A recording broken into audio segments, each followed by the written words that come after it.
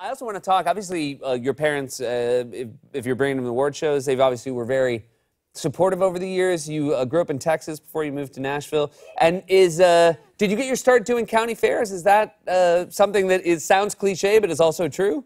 No, that's a real thing. Um, there's. Like, I, I, mean, that's one of the good ones. So that was a good gig if you got a county fair. Um, I've What's played, a bad gig? Yeah. Like a parking lot playing on a bale of hay. so.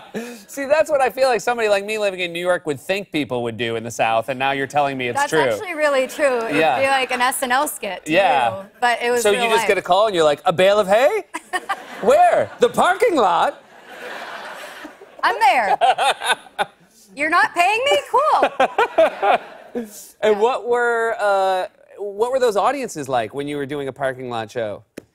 Um, not listening. Yeah. you auditioned. This is incredible. You auditioned for both The Voice and American Idol.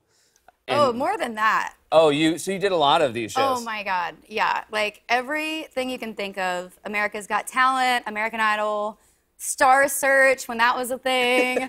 um, yeah, The Voice, all of it, and it was all a no. Just a hard. did you ever get to even the second tier of any of those?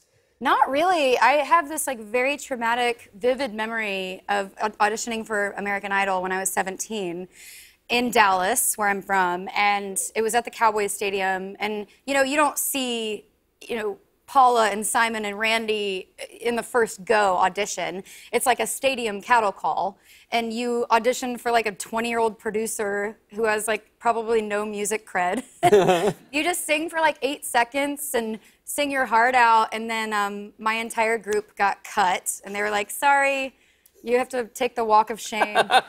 and um, yeah, I just remember being like 17, and I had to like walk through the walk of shame out to the parking lot and like find my mom's car and just cry on the way home with her. Um, but I mean, it all worked out. Yeah, it did all work out. yeah. that 20 year old right now is watching this being like, oh no. Yeah.